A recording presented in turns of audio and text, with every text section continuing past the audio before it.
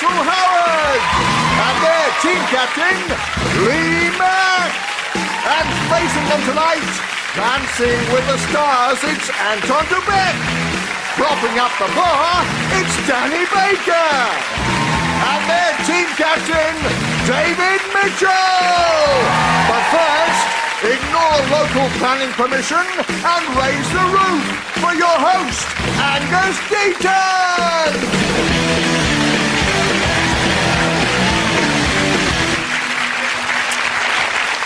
Good evening and welcome to Would I Lie to You, the show in which our guests are called upon to lie and deceive deliberately, despite none of them having the necessary political or journalistic training. In some ways, uh, lies are like Take That. They come in all shapes and sizes, but like Take That, they can also come back and haunt us years later. and lying is the number one reason that relationships fail. That and putting a delicate wool wash on at 60 degrees. And it has been known for suspected liars to have to prove their innocence by carrying a red hot iron bar in their bare hands for nine paces. But enough about round two. Let's concentrate on our first round home truths, in which panelists read out a statement from the cards in front of them, and the opposing team seek to establish whether it's the truth or a filthy lie. As ever, they'd like me to point out they've no idea what's written on the cards at this moment, by which I think they mean don't blame them if they cock it up. Anton has been chosen as the first to boldly go. I recently helped Bruce Forsyth hang a picture in his bathroom. What, what was it a picture of? It was uh, a picture of everybody in uh, this year's series of Strictly Come Dancing. All the contestants, all the pros, uh, all the judges, and Bruce and Tess. Did you do the adjustments and he was just stood behind going, higher?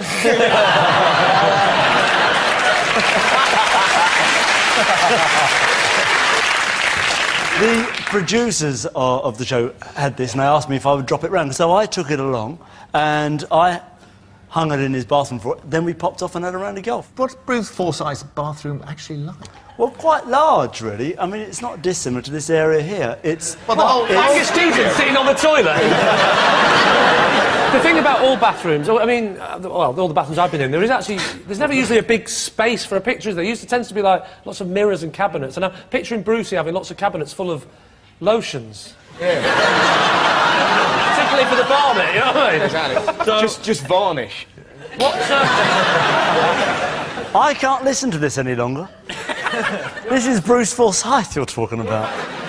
says, whereabouts is the house? Just give us the rough area. We don't want to know the street or the number. Well, it's uh, over by uh, Wentworth, By Wentworth, is it? the golf club. Okay. Is it, is it tastefully furnished? It's beautifully furnished. Well, it bloody sounds tacky to me, what you've described so far. He's got a picture of himself in the bathroom going, Lee's team, What do you think, Michael? It's. Kill him. Turn into Caligula. Um, well, I, I, what do you think, Russell? I, th- I think it's a lie.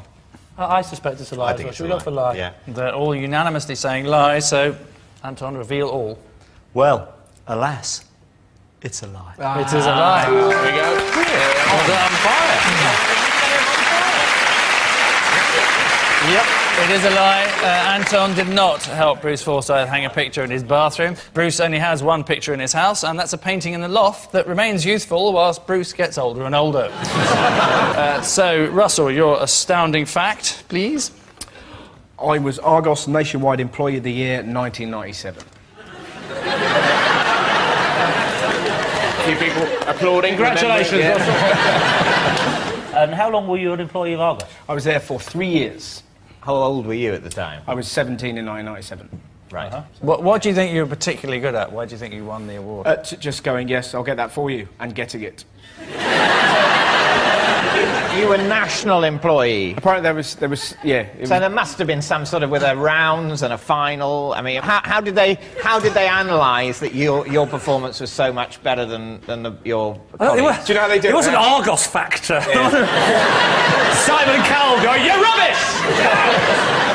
What's, what's sad about it is that each store puts forward their kind of young employee of the year, and then they have a mystery shopper come round, and you, you sort of know the time period they're going to arrive. So you're kind of on your toes, you know, making But sure. again, just, you're- just that, just one Yeah. customer. So were you at school for some of that? It was college. Yeah, oh, right. So it was like a part-time job. For Yeah. Some, yeah.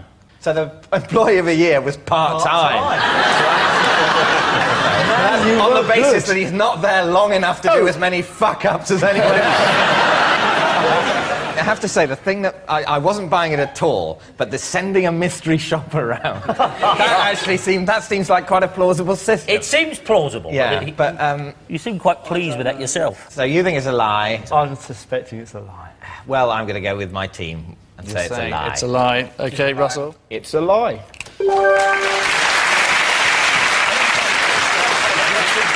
Yep, it's a lie. Russell did not win Argos Nationwide Employee of the Year 1997. Uh, strangely, the one thing they don't sell in Argos is really short pens. Uh, Michael, you're next up. I used to share a house with Sue Lawley. All right. Right. Where, where, what, what period of your career was this? Oh, very early on. Very Right. early on. You were just housemates, you weren't in a relationship. That's a rather intrusive question, isn't it? Well, I, I mean, you don't have to answer it. Well, But no, it- no, but no, it well, be- no. I think the answer would interest people. Well, I, Particularly if it's yes. Yes. no, I, I need to clarify this. We were in the same house, but not in the same relationship. Right. Okay. I was frightened to death of her, actually. And were, you, were you the only two? Uh, no, no, no, there were several other people. Other there. newsreaders. Uh, Trevor McDonald.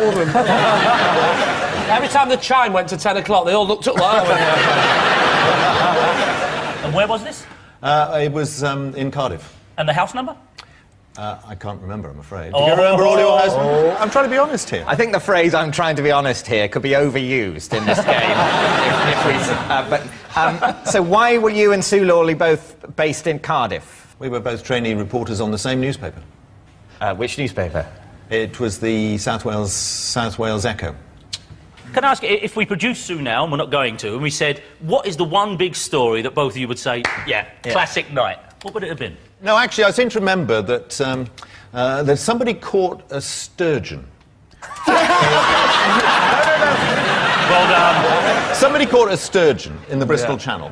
Whoever it was gave it to the newspaper, uh, and, uh, and Sue cooked it for dinner at the house. And we all had a dinner party eating this sturgeon. Well, why did you Well, get we it? were working on the newspaper, you see, and whoever wanted publicity or so. I don't remember. It's a long time ago. Come on.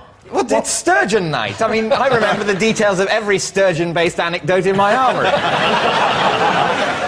I, well, I, yes. I, do I you don't know. It was the door number thing that threw me, knowing this story might be in the offing. Well, what do you think? Well, I tell you, a year in a house with Sue Lawley and nothing went on. You, you, you can't believe you that. Can't believe it, I'm afraid. You think she'd have jumped him at some stage? Something's going on. Yeah, I'll, I'll, I'll yeah. I'm So we, we, think, we think it's a lie. They're saying it is a lie. Michael, time to come clean. It's all true. It's absolutely true. Nice work. Yes, it was, uh, it was true. Uh, Michael did uh, once share a house with Sue Lawley. Uh, they used to sit down together to watch 9 o'clock news, and if there was a long pause at the top of the show, one of them would realise they were in the wrong place. and so, with all the vitality of a taxidermist display cabinet, we come to round two Ring of Truth. It's my job to furnish the panellists with some celebrity facts, and it's their job to establish whether or not those facts are true. First, those dreaded words it's Alan Titchmarsh. A wonderful thing to be a healthy, grown-up, busy, busy bee. Toying with the tulips, tasting every type, building up the honeycomb that looks like tripe. I'd like to be a busy little bee, being just as busy as a bee can be. Flying all round the wild hedge rose, stinging Geoffrey Smith upon his parson's nose. Buzz, buzz, buzz, buzz, honeybee, honey, buzz if you like, don't sting me. Buzz, buzz, buzz, buzz, honeybee, honeybee, buzz if you like, but don't sting me.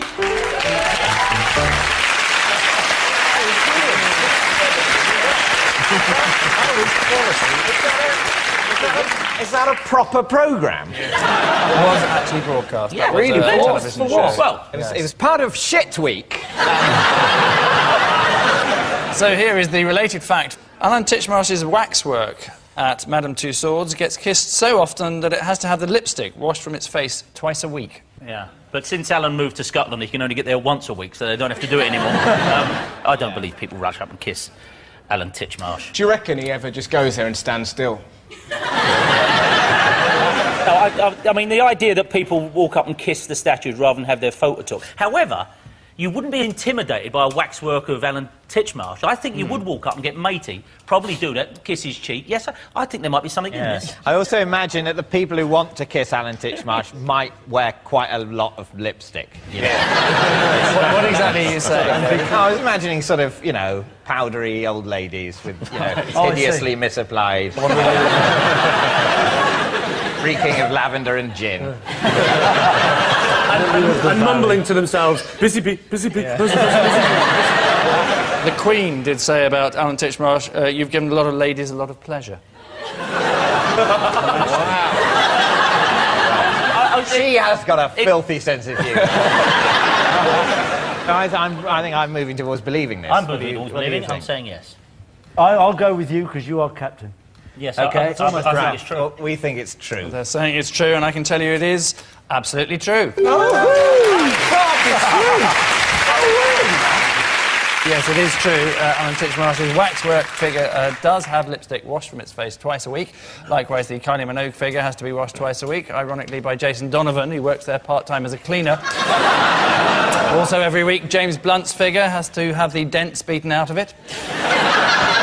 and Michael Jackson's waxwork has been melted down and now looks exactly like him. So a cursory glance at the score is enough to remind us that it's Lee's team who seem to be holding all the cards, leading as they do 4-2. Our next round goes by the unfinished title of This Is My, in which Lee's team will each claim to have a connection with our mystery guest, and David's team take it upon themselves to find out who's telling the truth. Three possibilities, two lies, one truth, and no option but to plough on. Uh, this week, no fewer than two guests, so please welcome tonight's uh, special guest people, Chris and Jill.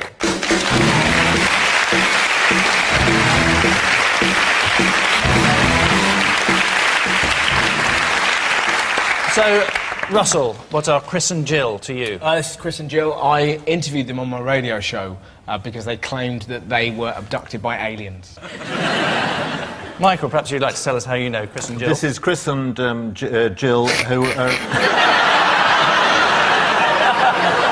who are um, fellow members of the Guildford Walking and Dining Club. And finally, Lee, your relationship with Chris and Jill. This is Chris and Jill. They once helped me dispose of a dead body after I killed a man in a car park. Not really, just trying to add a bit of spice to proceedings. Um, this is Chris and Jill, and Right. uh, I once slept in a shed for a whole summer. So there you have it. Some abducted radio fans, according to Russell. Some rambling diners, according to Michael, or Lee's personal shed landlords.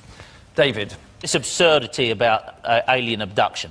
Well, they claimed it. That's why we interviewed them. What was the story they told you? Um, we read it in the Alton Gazette and then we interviewed them because apparently they, they met some guy called Zargon, I think. This is about a year ago. And Zargon, one, he was upset. No, Zargon. Zargon. It's their story. I'm relating it, Joe should Yeah, yeah, okay. and the, You- the it may be their story you're relating it, but it, but it, but it may also be bullshit you're thinking no, up now. no, no, no, no, Argon work at Argon. no, he doesn't. but this is where it gets very, very bizarre because Zargon started asking her what this was, pointing at a wheelie bin, and Jill had to explain what a wheelie bin was, which she did very well. And then they woke up. They woke up in a skip the next day. Where did he? Where did they meet Zargon? I did suggest that maybe they got drunk and woken up at a fancy dress party, but uh, they, they declined that. Apparently, they went to his ship, which looked a bit like, and I quote, uh, a Yates's wine lodge, but full of aliens. How did, where were they when the ship abducted them? Just outside Coventry. Were, were, they, were they in the car? They were briefly in a car before they were sucked out of it. So they're driving the car, they get sucked out of their car. They're Yeah. thinking, what the hell's going on? The car is rudderless, carrying on the Coventry bypass. So then there they are in the Yates's wine bar with all the other aliens. I'm sorry, David, but what part of this story doesn't add up? It's their story, and what a story it is. So maybe you'd like to talk to Michael now. Yes. so, uh, d- uh, d- uh, again, the, these people you know from. From Guildford, uh, Chris is the uh, Edmund Hillary of, uh, of the home counties, and, uh, and Jill is the Delia Smith of the outfit. Yeah. And, and it is a, a rambling and dining Walking society. and dining. Guildford, walking and dining. Which, which bit of this don't you understand? We go out for a walk and then we go and dine. And you, and you go around someone's house to dine. You don't go to a restaurant. Yes, we do. Yeah, that's right, yeah. So what's happened the, the most recent meeting? Where did you walk? Whose house did you eat at? What did you have? Um, well, it was uh, actually yesterday. Right. yeah. And where was the walk? Uh, it was it was in Surrey, uh, near near Guildford. It was uh, Leatherhead. Leatherhead. Who was the uh, who was hosting the dinner? Zargon. yesterday? Uh, n- Not our house, uh, not Chris or Jill's house, but another uh, couple Can in you the group. bother to make up the name of two people? I think this is far too plausible. Yeah, but you haven't, you not haven't, you haven't let him society, finish is the story yet. Go it's on, a big happened then? swingers thing, and they all get together. They're not blushing. They're not blushing. what, what's the shed scenario, Lee? it's a thing that poor people have in the garden to put tools in. I know what a shed is. Oh, I see. Uh, Sorry. why were you sleeping in a shed? Well, it's a good question, David. Thank you. I was. It's when I first came to London, and uh, a friend of mine who lived in London, uh, I introduced me to Chris and Jill. I slept in the. In, I rented a room off them, uh, a spare room, and they had renovations done. So I had to leave, and I, I was desperate, and we came up with this ingenious plan where I would sleep in the shed. When you say shed, you mean like a proper one you see in a garden centre, or is this just a, No, this was. It was. covers what it yeah, was? no, it was. It wasn't. Uh, it was a proper shed. It wasn't. You know, insulated or, or any of that. It didn't have any electrics, any plumbing, or anything. These good people uh, don't look like the kind who would tolerate someone living out in the shed. They look like the kind of people who look at each other and go, we can't have that. We can't have that. We'll put him up at our sissies. Yeah, but you say that, that don't let that look deceive you, because they also once helped me bury a man that I killed in a There is that. I must say, I'm, I'm finding the most plausible story at the moment to be Lee's. Absolutely. There are definitely people in the world who think they've been abducted by aliens. Radio stations certainly would get in touch with them and try and sort of Yeah. exploit their We had a fantastic muddle-headedness. Sunday. Great Sunday. Um, but I think the story would be less. Insane.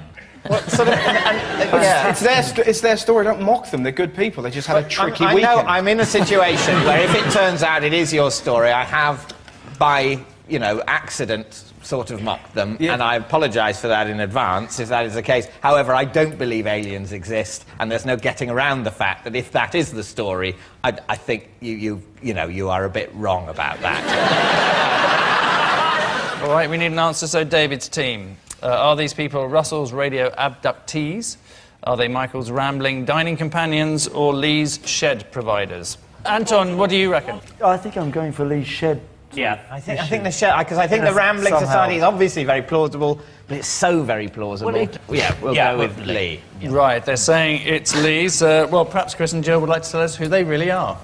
We are, in fact, uh, companions of Michael's in walking and dining. So, congratulations uh, to them. Uh, yes, uh, Chris and Jill are indeed uh, Michael's walking and dining friends. Sometimes reading the news just isn't exciting enough. Uh, so, at the end of that round, uh, well, it appears to be David's team uh, who are struggling to make an impression, trailing as they are 5 2.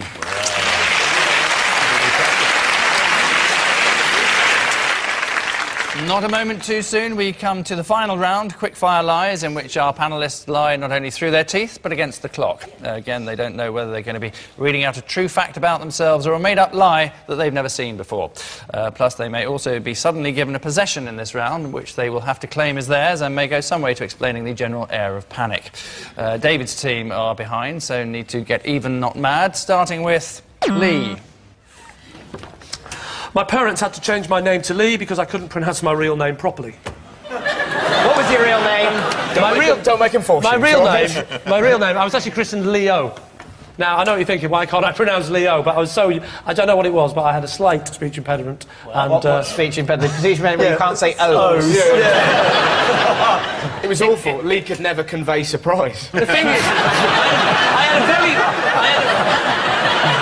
I had a very weird speech impediment. It was, uh, I couldn't stop. So I used to say, Leo. and it used to go on for a long time, so they got a bit sick of it. At what age did they, you know, say, oh, he's never going to learn? you know, Well, he's it two, was- he can't even say his name. It was about the age of about the age of uh, about four, something like that. They, they, because they used to call me Lee anyway. They used to abbreviate Leo, and they said, you know what, let's just leave it at Lee. Well, why would they do that, though? Keep it to Lee. Yeah. And why age Maybe if we knock off a syllable, he'll stop there. I mean, he might have gone No. Lee. Lee. Which in a way is worse. He's even more boring than Leo. Well, P.G. Wodehouse was known as Plum all his life because his name's Pelham. And when he was little, he couldn't say it. So there is precedent. And you're quite like P.G. Wodehouse in lots of other ways. Well, I can't buy this because I don't think parents would change. Will you? No, Would I, say, think, I "Oh, think at the age of four, they'd go, oh, he'll learn. We wanted to call him Leo. So, uh, uh, I, I, I think it's a, a no. We don't believe you it. Uh, uh, alas, Yeah. uh, Hey, what do alas, um, I think Lee is enough. Yeah, we think, we think it's a The- lie. It's a unanimous lie. Lee, tell us, truth or lie? It's a lie. Yeah.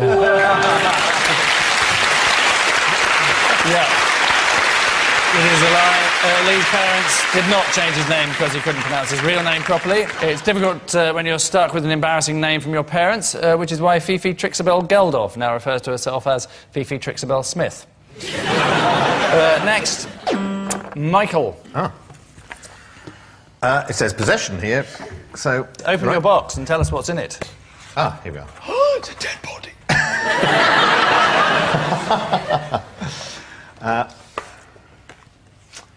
This is an ashtray that I stole from 10 Downing Street.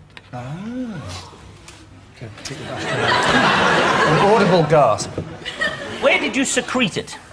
I put it in my raincoat pocket, actually, uh, because you, you can get to the cloakroom, um, you know, during the whole... I, I'd had, a, I have to say, a couple of drinks, and, uh, and I popped it in the... You know, I've got a raincoat with quite big pockets.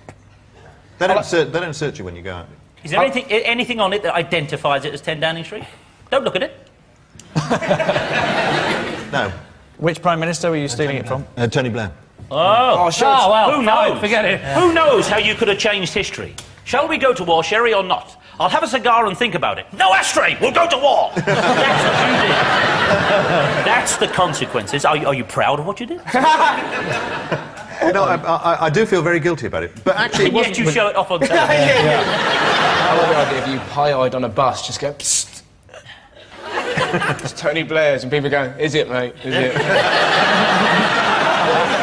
Is it, have you had it valued? I do like the idea of Michael turning up on the Antique Roadshow and going, Did you value this, Michael? It's, it's a wonderful piece. Where did you get it? I robbed it from 10 Downing Street. Do you normally nick stuff?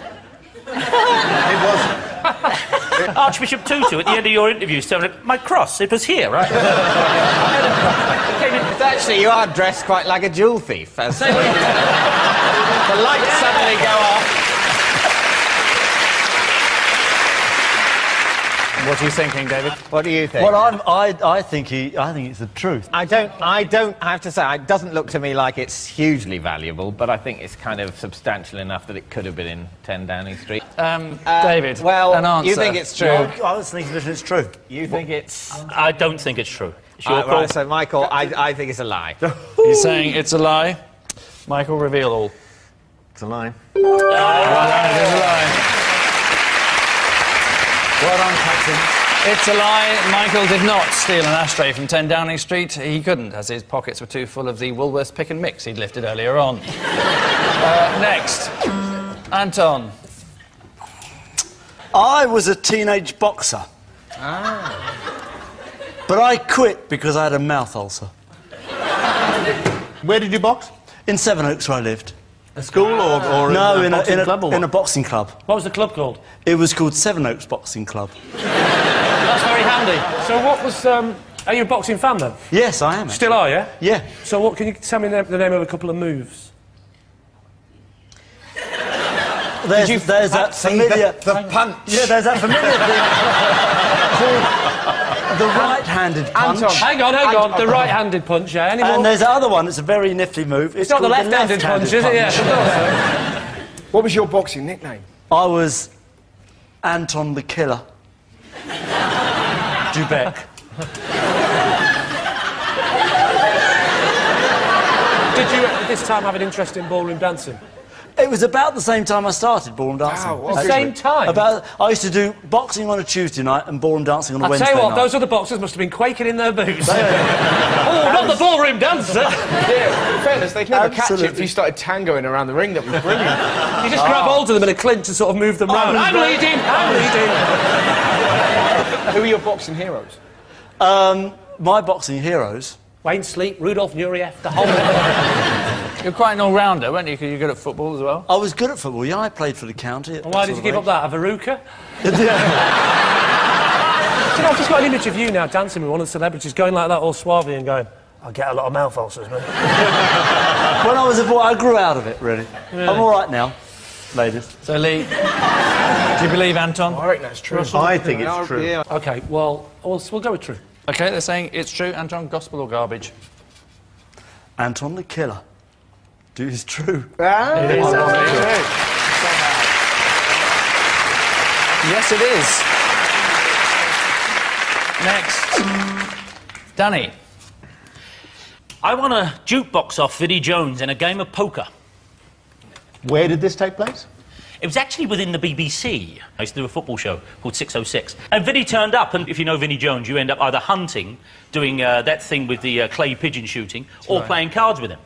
And uh, so I fell into a game of cards, and I don't play cards very well, but absolutely thrashed him. I've no idea about poker, let me say that, none. Oh, that's handy for this inquisition, isn't it? Got that in quick, didn't I you? don't, no, no, I don't, I, don't, I used to call it Well, you must remember the hand that you had when you won, you won the... the Yes, I do remember the hand that I had, and it was was it? two queens. What did he have that you beat? I've no idea. I cannot remember that. I'd like to say I could. But the fact is, he said, I'll tell you what I'll play for. You like music, don't you? I've had a jukebox given to me for some promotion he was doing. I don't want it.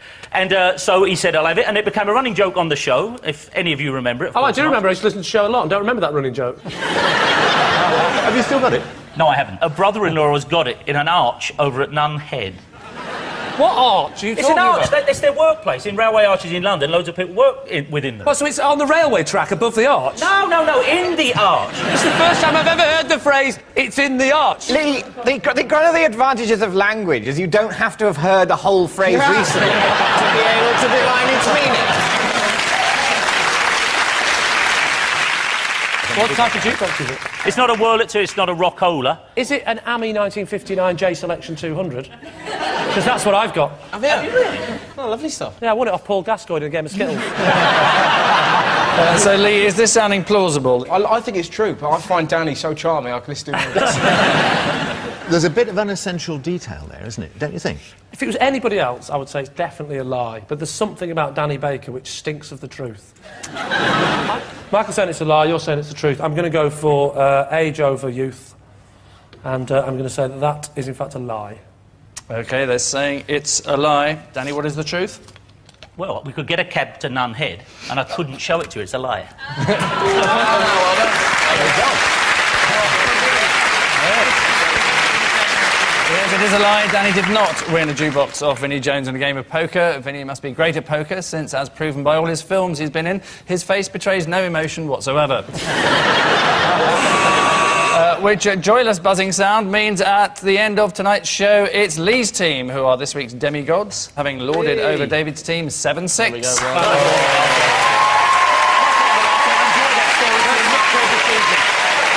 So, overnight stardom to our winners, instant obscurity for our losers, and we leave you with a reminder that some of the most common lies that people tell are sex related. The three most popular being I'll still respect you, no, I don't fancy your mother, and yes, of course, I've got the keys to those handcuffs. Good night. Friday comedy continues here on BBC One with the street savvy fighter pilots and the sat nav that bites back from Armstrong and Miller next. And later, the drunken Scots philosopher in the dirty string vest. The comedy connections of Rab Rabseed Nesbitt at 10.35.